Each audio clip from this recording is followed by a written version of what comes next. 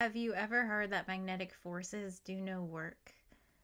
I remember sitting in E&M class, like baby undergrad version of E&M class, like 11 or 12 years ago. I was just I was sitting in class staring at this book. I have the book, hang on. Literally this copy of this book. And on page 207 of this book, there is the statement, magnetic forces do no work in bold. And it's boxed, which means it's very important. And this this is of course confusing. You know, like work. We'll talk more about work, but I mean if you do work on a box and you pick it up, you know you've done work on it. And if you have a magnet and you you want to pick up a box, the work happened. How how can magnetic forces do no work? Um what's weird is that I went on to graduate school and I took more E&M classes and I never ran into this again. I had just taken magnetic forces do no work in bold in a box and put it in my brain and be like, okay, that's a true fact. Just remember that, but also you don't really understand that, and it uh, it just it never came up again.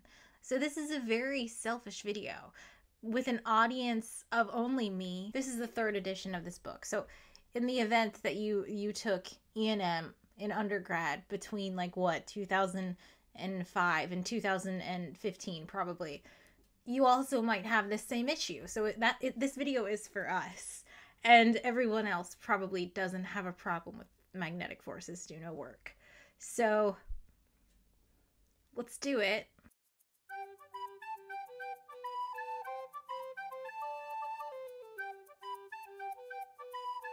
For reasons that will become clear later, this is the second time I'm recording this video, and in between me editing the first version, I looked on YouTube to see if anyone had already made this video so I could steal thumbnail ideas. That's fine. Is that okay? I don't know.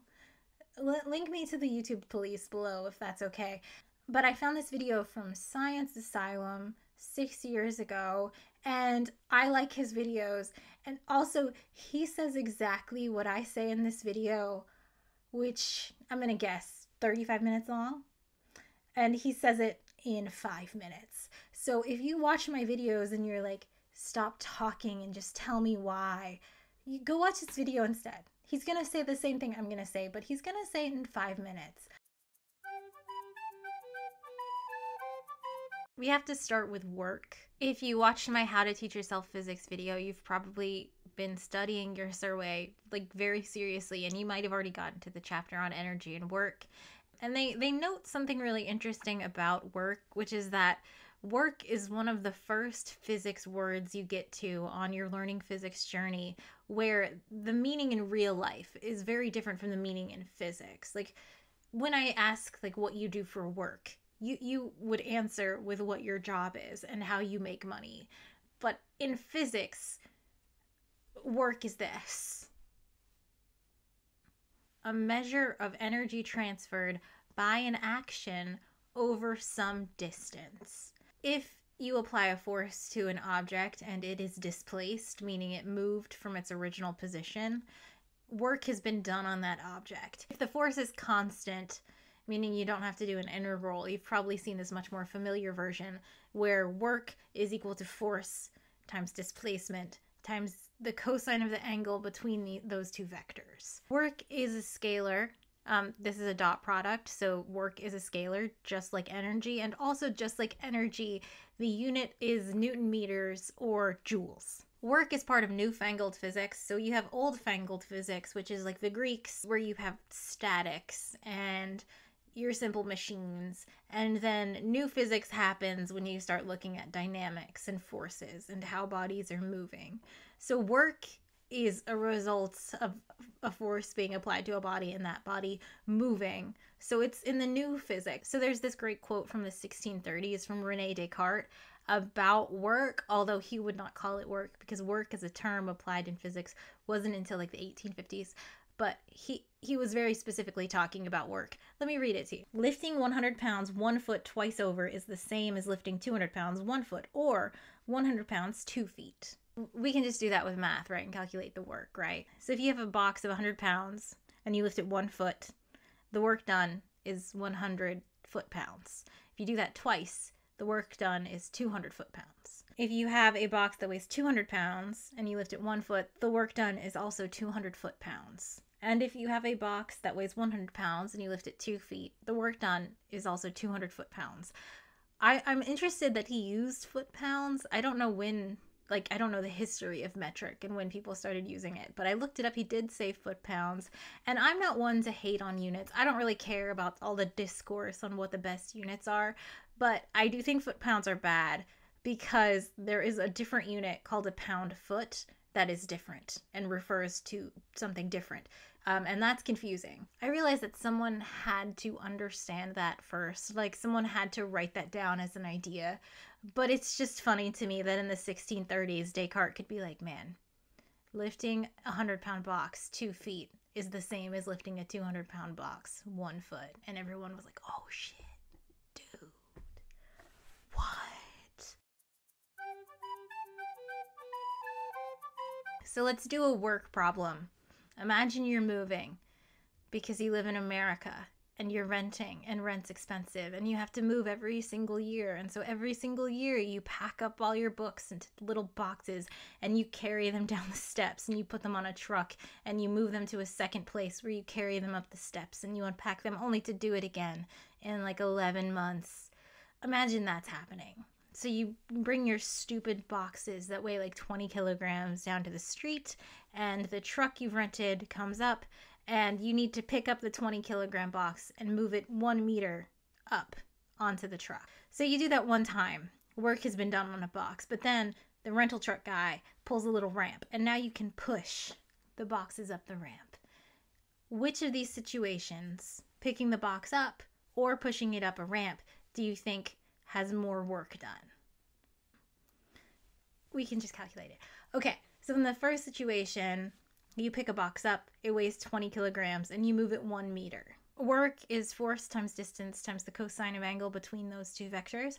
So a 20 kilogram box, picking it up, you just need to calculate the weight of the box. That's the force. So it's 20 kilograms times 10 meters per second squared times one meter and then cosine of the angle between those two vectors. But you're applying a force upward and the direction of motion is upward, so the cosine of zero is just one.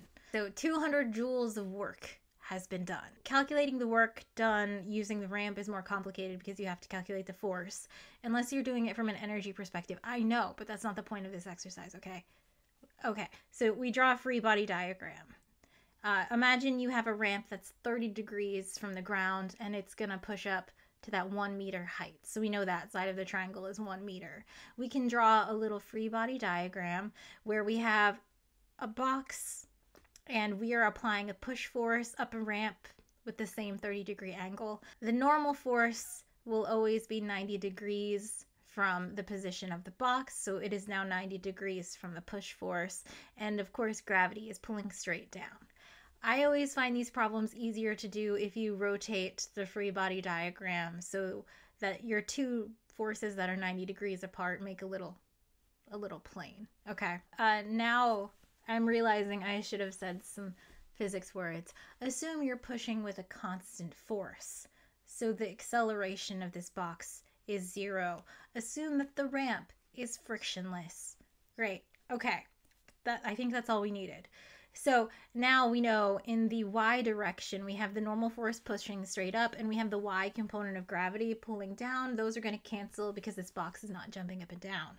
So if we want to calculate what the force that we push on the box is, we just set that equal to that minus x component of the gravitational force. So we get F push is equal to mass times gravity times the sine of 30 degrees, which is 20 kilograms times 10 meters per second times sine 30, which gives us 100 newtons. So that is our force. If we want to calculate the work, we need to do force times distance times the cosine of the angle between those two vectors. And we need the distance to be the hypotenuse of our ramp. So if we have this 30 degree angle from the ground and we know the far side is exactly one meter tall, we know the ramp is two meters long. That's a special type of triangle. Okay. So work is equal to our 100 newtons of push force times 2 meters, which is equal to 200 joules. We did it. Yay. So in both cases, 200 joules of work. So if you were looking at this originally, you would be like, well, I would much rather use the ramp It's going to be easier. And that's true. The force you're required to apply to the box is 100 newtons compared to 200 newtons, but you're applying that force over a longer distance, so the work ends up being the same. I think this is one of the interesting things about work as a physics concept. It's kind of hard to wrap your head around. Of course, that leads into the work energy theorem. So, in both cases, the box is given potential energy, it's taken from the ground up to some height of one meter so if you had used the work energy theorem before, you would have been like, of course the work is the same in both cases. The same amount of potential energy is given to the box in both cases. Um, but I just wanted to show you with a force diagram. So let's actually look at the work energy theorem for a second. I take a box and I move it up some height.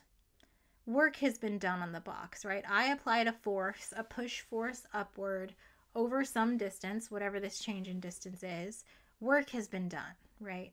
But if you think of this with respect to the work energy theorem, which says that the net work done on an object is equal to its change in kinetic energy, you would realize that there's no net work done on this box, which network sounds like the word network, which is just one word, but I mean network as in two words. That's because here the box is at rest, the velocity is zero, so the kinetic energy is zero. I move it upward to some height the box is at rest. The kinetic energy is zero. So if the net work done is equal to the change in kinetic energy, the net work done is zero. And that's kind of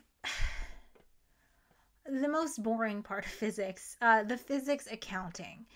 How you solve a problem, like how much work is done in this situation, depends on how your system is set up. So if it's just me and the box, I say I applied a force to the box the work done on this box was done by me and it's whatever the weight is times the distance I've moved it, right? But if you think of it from the work energy theorem, what is actually happening is I am doing work on the earth to take this box away from it. And the earth is doing negative work on this box to give it potential energy. So the net work done on this box is zero because I did the same amount of work on the earth that the earth does on the box. And instead, the energy transfer was that this box now has potential energy. That's two ways of looking at the same problem, and you get the same answer, but it's, I find it very boring.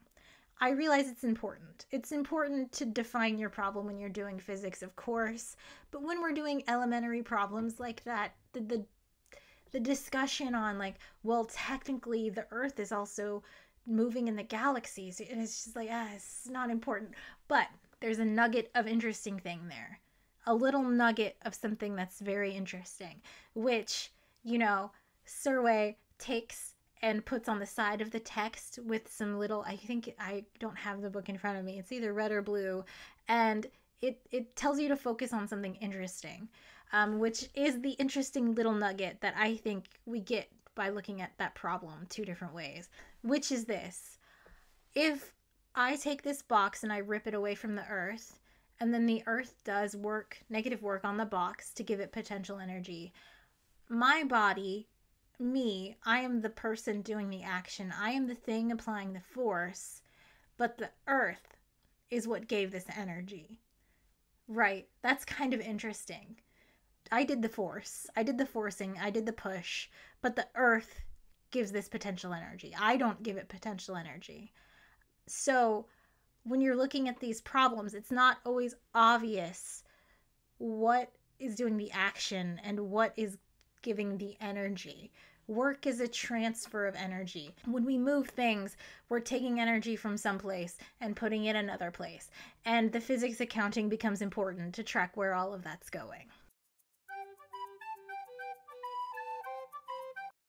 Okay, let's let's take that little nugget of information and put it in our brains and move on to electricity and magnetism there is an electric force. It's the Coulomb force. It looks like this. It looks a lot like the gravitational force, but it is a force between charged particles. Imagine I have like a 5 micro Coulomb Coulomb charged particle and like a 3 micro Coulomb charged particle.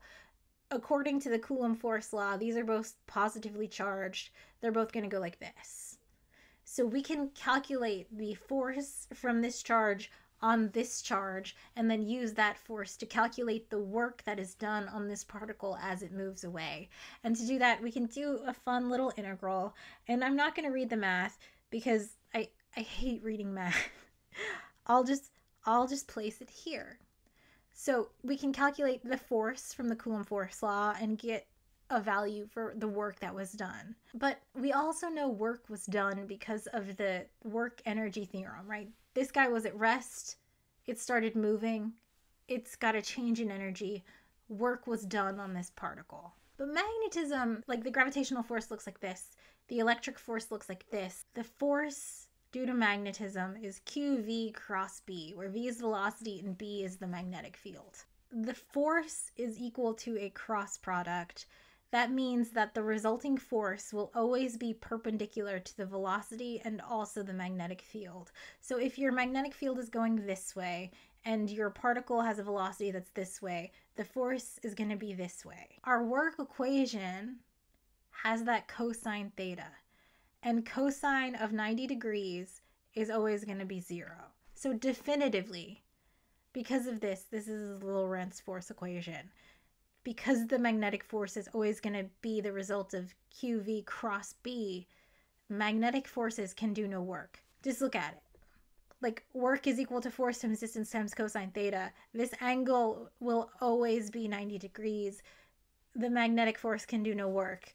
Look at the boxed equation. That's why it's boxed interesting things have come out of this though and have led to really important developments in like technologies and how we look at particles. Imagine this is our charged particle and the magnetic field is into the into the the computer that you're, you're watching this on and this particle is moving up.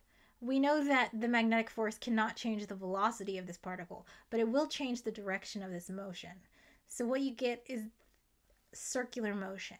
So if you've ever seen tracks from like cloud chambers where you get those cool spirals that that's because you have a magnetic field and you have a charged particle and once that particle enters the magnetic field it just starts traveling in a circle. And you also get where they're two circles right next to each other, that's where you have like pair production. Like suddenly you have an electron and an anti electron. They're going to go in circles that are in opposite directions because they have opposite charge because it's QV cross B and an electron is like plus one and an anti electron is minus one. It's also how mass spectrometers work. So if you have isotopes of a molecule and uh, which means isotopes means that they have the same charge but they have different mass because some of them have more neutrons.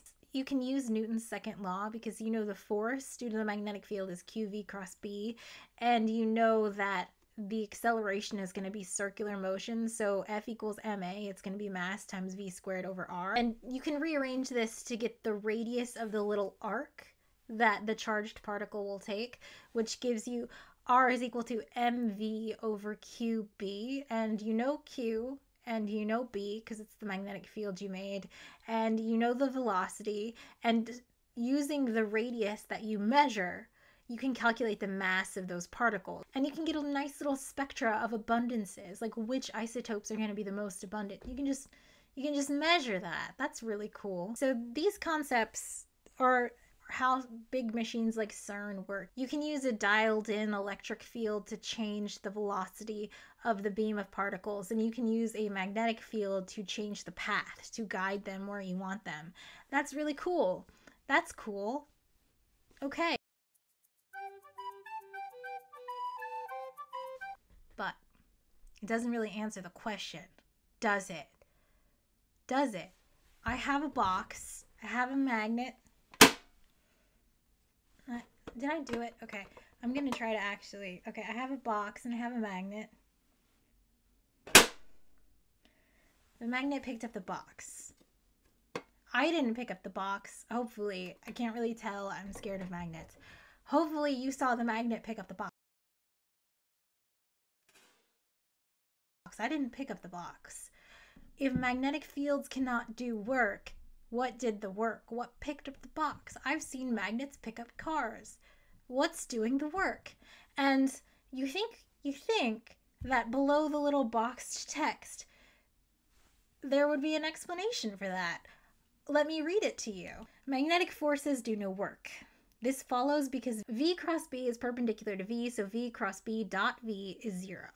This is what I was saying before the velocity and the magnetic field vector directions are always perpendicular, so when you dot them back into the velocity, you will always get zero. Magnetic forces can do no work because the Lorentz force equation holds. Right, that's what he's saying. Magnetic forces may alter the direction in which a particle moves, but they cannot speed it up or slow it down. The fact that magnetic forces do no work is an elementary and direct consequence of the Lorentz force law. But there are many situations in which it appears so manifestly false that one's confidence is bound to waver. God, I love Griffiths. He writes such fun sentences. Okay, when magnetic crane lifts the carcass of a junked car, for instance, something is obviously doing work, and it seems perverse to deny that magnetic force is responsible. Well, perverse or not, deny it we must, and it can be a very subtle matter to figure out what agency does deserve credit in such circumstances. This is the little nugget of interesting thing I was talking before. I pick up the box, but I do not give the box potential energy. The Earth does that. The magnet picks up the, the box, but the magnetic force is not doing work on the box. So something else must be doing work on the box. And then he says, I'll show you several examples as we go along. And then his problems. And then he talks about currents. So, just a note, I feel like that's bad. I specifically remember sitting in like a week of lectures where I was ignoring what the professor was saying and I was trying to figure this out. Maybe I'm an idiot. Maybe you got it from what was happening in that small paragraph, but you say something is doing the work. What what's doing the work then? Cuz something is doing the work. It would be great if you did show me, and I'm sure he does. I was, of course, an undergrad, and undergrads are just no- notoriously bad at reading books. You got to read the books, actually. So I'm sure if I were to just keep this in my brain and focus and read the rest of this book, he would have explained to me what was happening. But he did not. And as I said earlier, I just put this in my brain as like, okay, magnetic forces do no work. I know the equation, I get it, but what what's doing the work? And I went to grad school and I took Jackson E&M and it just never came up again. Like we did work problems. So why was I so confused in this book? And I think it's because he doesn't explain what's doing the work. Like that would just be a great moment to say, and here's an example. But he says, "Well, we'll do it. It's coming up." But the reason I'm making this video is because I learned that in the fourth edition of this book, Griffiths added a whole new section called Magnetic Forces Do No Work. And I was immediately just like rushed back to undergrad where I was sitting there like, Magnetic Forces do no work, then what's picking up the box? And I was like, oh, yay, this will answer this question I've had in my brain for 10 years that just never came up again, so I didn't think to investigate it. So, the first thing I would like to say is David Griffiths. I have now bought two copies of the third edition, one PDF of the fourth edition. I have your quantum book, I have your particle book. You've made so much money from me, but you deserve it. You write great textbooks. I do like them. The second thing I want to say is nobody send this to David Griffiths because I think he hates people that talk to him about this. He is so snarky in this new chapter. He must have received thousands of emails where students were like, but I've seen cars picked up by cranes. Like, I can pick up a paperclip. What are you talking about? And he's so mad about it that this chapter is specifically for those idiots like me who are like, okay, but I'm a little confused by what you wrote down. Like, I get it. I agree with the Lorentz force law. I understand, but what's what's doing the work though? Here's my evidence for that. So this is section 8.3, magnetic forces do no work, and there's a note that says this section can be skipped without loss of continuity. I include it for those readers who are disturbed by the notion that magnetic forces do no work. And I just I'm not disturbed, man. I'm just confused. Like I'm not disagreeing with you. You just need to explain it to me better. I, I understand the Lorentz force law, but I see this happen in real life. So just tell me what's actually happening. I'm not disagreeing with you yet. Spoilers. So he does an example of a big electromagnet picking up a junkyard car. and he says you flip on the electromagnet. Well, this is my interpretation of what he says. I don't you get it. Okay. So you flip on the electromagnet, there's a changing magnetic field. The little magnet particles in the car get an induced current around it, a Faraday EMF, right? Or an induced EMF. And in addition to that current that is now on the car, there's a changing magnetic field due to that. So in the magnet, there's another little induced EMF called motional EMF. And the interaction of those two currents is what lifts the car up. They increase the potential energy of the car. Watching a magnet pick up a car, you are watching the electric force do the work, but the magnet is providing the energy. Just like me picking up the box, I'm applying the force, but the earth is doing the potential energy. Okay, fine. This whole section, he's just very salty. The fact that magnetic fields do no work follows directly from the Lorentz force law. So if you think you've discovered an exception, you're gonna have to explain why the law is incorrect. And I just like it's it's not that I think the Lorentz force law is incorrect. It's that I didn't understand what was picking up the car. I didn't understand what was doing the work if it wasn't the magnetic field or the force due to the magnetic field. So I mean, you could have just put that in. I've already recorded this video and I learned some new information. Um, so, first, let me tell you what I said in the first version. He's got a little section in here where he says if you found an exception to the Lorentz force law, if you've found a reason for magnetic forces to do work, you have to change the Lorentz force law to account for that. And he says for example, if magnetic monopoles exist, the force on a particle with electric charge QE and magnetic charge QM becomes this. I think I've talked about this in a different video. So in that case, a magnetic field would do work on magnetic monopoles. But, you know, magnetic monopoles don't exist. So this isn't a valid case. But he's using that as an example of like, okay, but the Lorentz force law would change. But then he says a less radical possibility is that in addition to electric charges, there exist permanent point magnetic dipoles, parentheses, electrons, question mark? Why? What's happening? I this is what confused me in the last recording of this video. I thought this was a joke because electrons like electrons do have permanent point magnet dipoles. They have quantum spin. That that's what an electron is. It has a spin vector. And magnetic fields can do work on spin. They can do work on point magnetic dipoles, and they do. And then he says the Lorentz force law acquires an extra term. The magnetic field can do work on these intrinsic, in air quotes, what? Why is it in quotes? Intrinsic dipoles, electrons, they have spin. Is it a joke? Which experience no motional or Faraday EMF. By the way, motional versus Faraday EMF is another like physics accounting thing that I don't understand. Like I take a voltmeter and I measure an induced current. I can't tell the difference in motional or Faraday EMF. I understand that you could point me to a definition that explains the differences in them, but physically in the world, why do they have two different names when they're the same thing? It doesn't make any sense. But that's a totally different video. Here's what he says I don't know whether a consistent theory can be constructed in this way, but in any event, it is not classical electrodynamics, which is predicated on Ampere's assumption that all magnetic phenomena are due to electric charges in motion, and point magnetic dipoles must be interpreted as the limits of tiny current loops. So I recorded this video after reading this to you, and I was like, this must be a joke because this is a classical electrodynamics book, and he doesn't want to talk about spin, which is how magnets work. You have a material that has magnetic properties, it's a magnet, right? It is made up of atoms, and inside those atoms are electrons that have intrinsic dipole moments that have an orientation.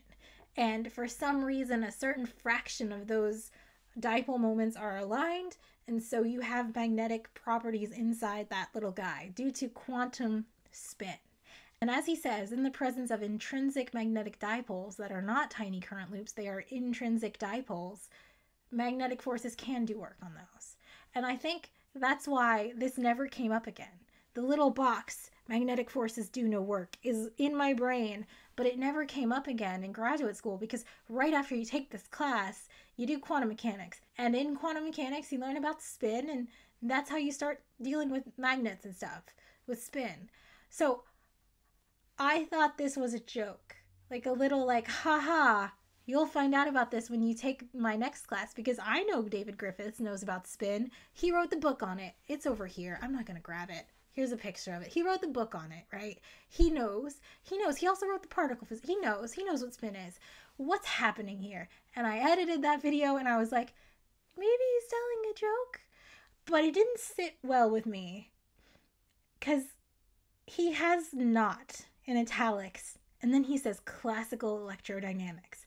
And classical electrodynamics does not have spin. And so I searched David Griffiths, classical electrodynamics, and I found something that made me re record this whole video. Let me show it to you. So, I'm on the American Institute of Physics website, and they do these oral histories, which I quote so often in videos, I think, hopefully I'm linking to these, where they interview physicists with these great careers and they just ask them a bunch of questions and they're pages and pages long and they're just so fascinating and good.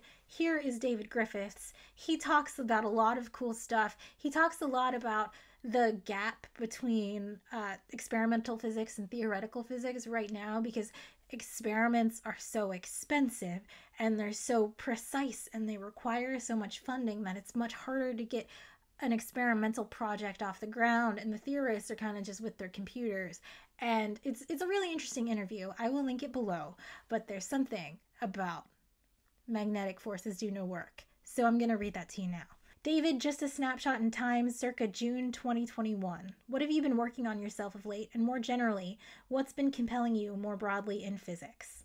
And David Griffiths talks about uh, compiling his PhD advisor's Sidney Coleman's notes on relativity, which sounds really interesting.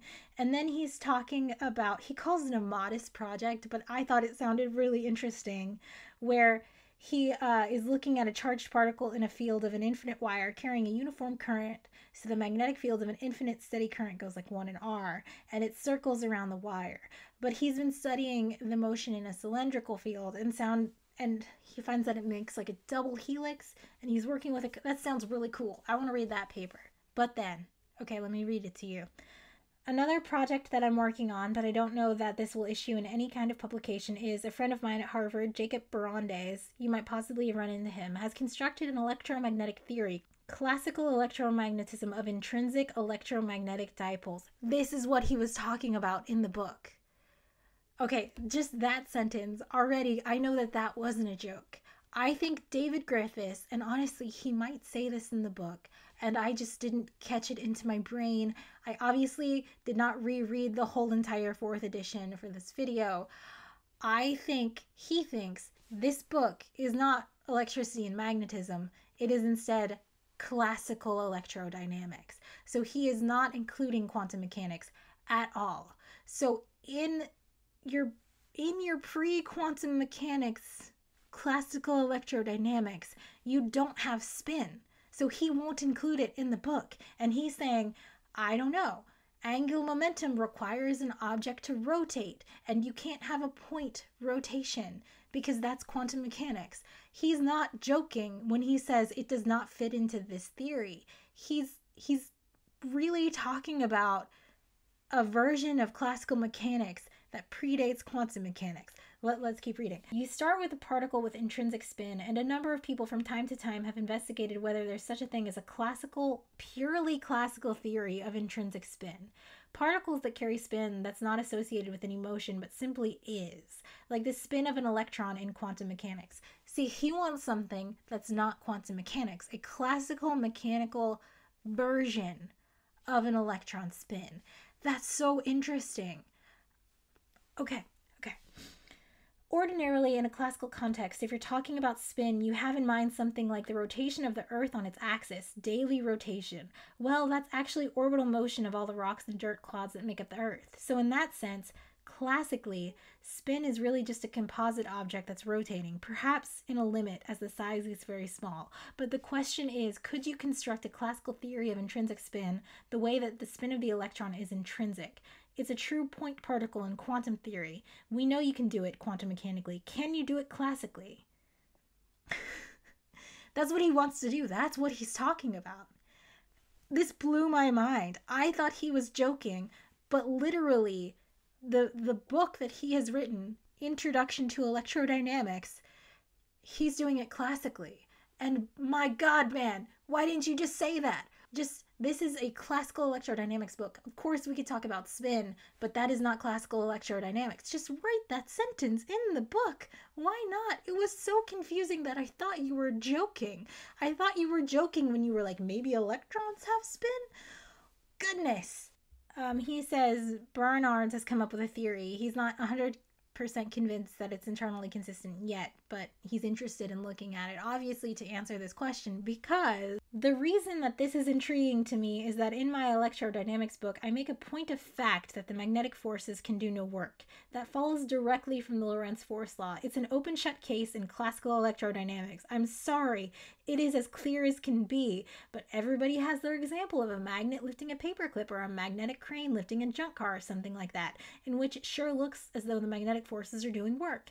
So I've had over the years more complaints than any other comments on my E&M book. How can you claim that magnetic fields do no work when obviously they do?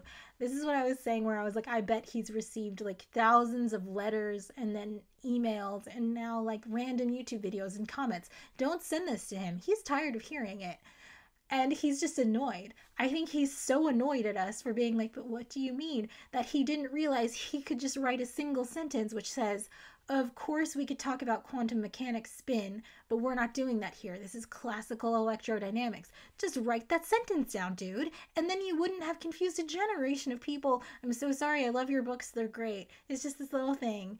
I feel bad. I love his books. Don't send this to him. Okay. Well, I've always assumed that was essentially a quantum mechanical thing that simply had no explanation in true classical electrodynamics.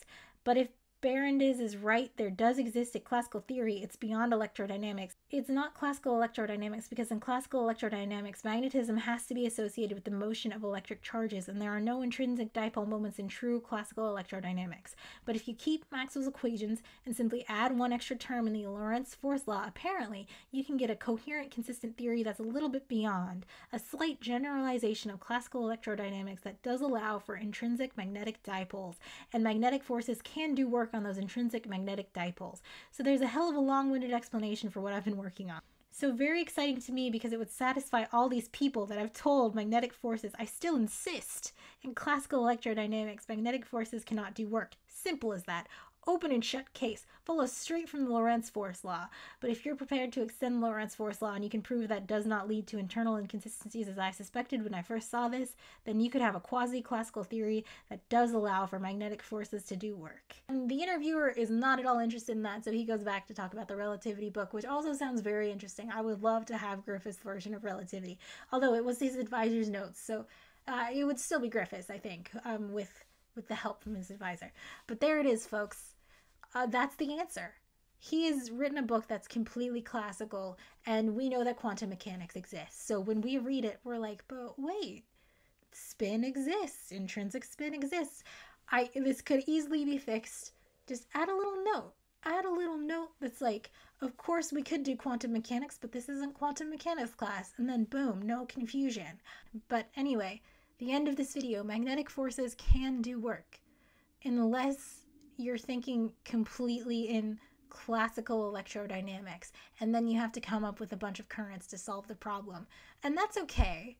But, I mean, we could just do quantum mechanics instead. Okay, bye.